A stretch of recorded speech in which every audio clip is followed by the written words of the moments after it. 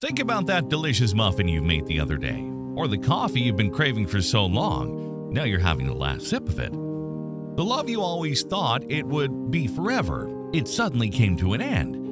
And last but not least, you went through the weekend but got hit by another Monday morning. Just like all things, also the earth will eventually end. But how and when is this going to happen? Will we be able to experience it? Or will we be long gone? Keep watching the video to find out more about it. Don't be scared. All good things eventually come to an end. How long until the Earth dies? Keil O'Neill's faith. The good news is that the Earth has so many years to live before it actually dies. So much time ahead of us. So many humans to come. So many trees to grow, and so many rainy days to enjoy doing nothing at home. So, at least for now, we don't really have to worry about the Earth's fate. Indeed, on a human timescale, this is irrelevant because it usually takes billions of years for a planet to end. There are many ways our planet and everything that comes with it could come to an end. For instance, external actors that could end the Earth can be one of the following a supernova explosion, an asteroid bombardment like the one that extinguished dinosaurs, or a nuclear disaster. However, if we neglect these from a purely solar system point of view, the fate of the Earth is strictly linked to the fate of the Sun. This holds in general for every other planet.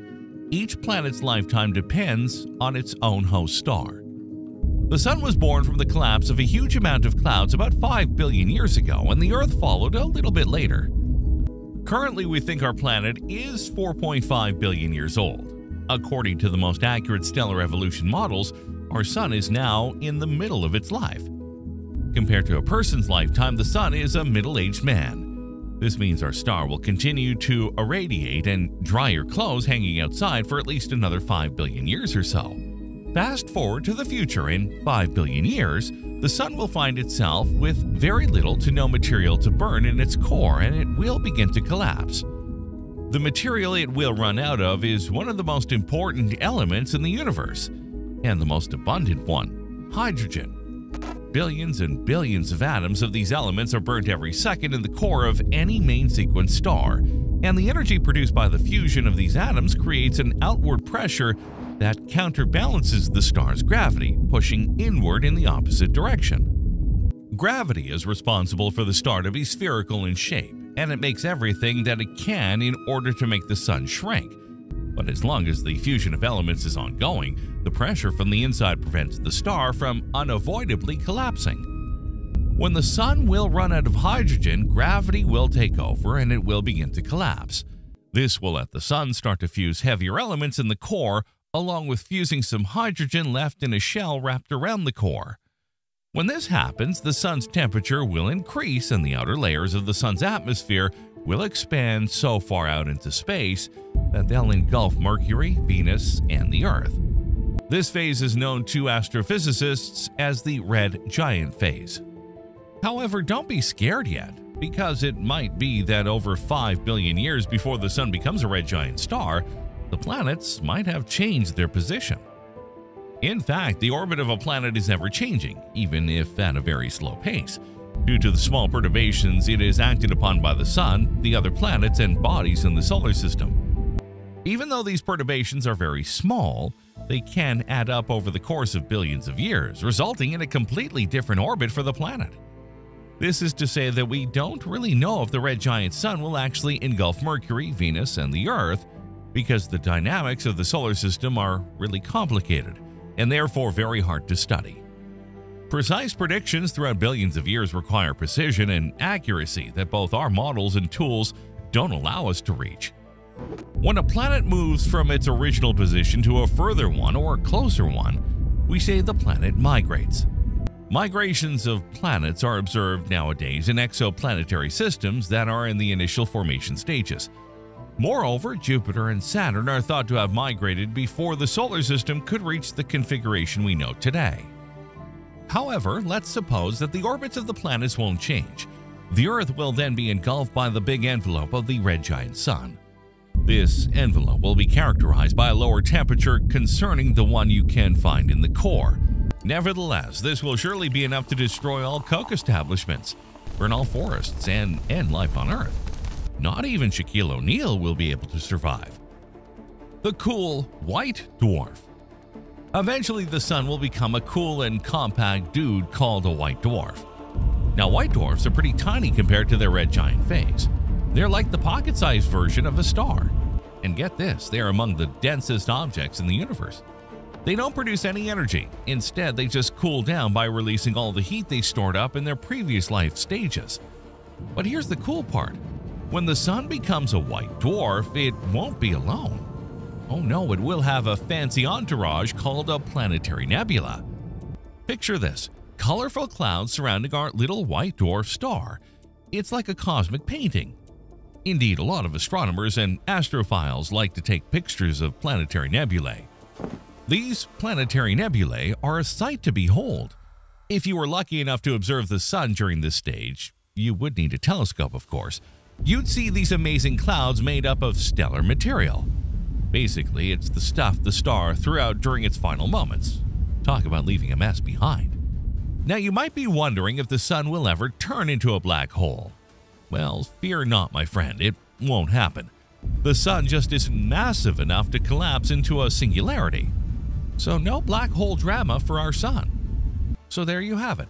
The sun's future is looking pretty cool. It's going to shrink down, cool off, and throw one heck of a party with its planetary nebula pals. Isn't space just fascinating? No more Nutella.